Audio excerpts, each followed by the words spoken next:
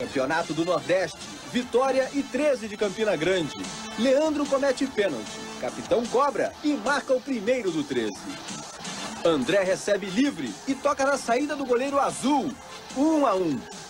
Cruzamento de Bill e capitão de cabeça marca mais uma vez para o 13, 2 a 1. André empata para o Vitória. Placar final, 2 a 2.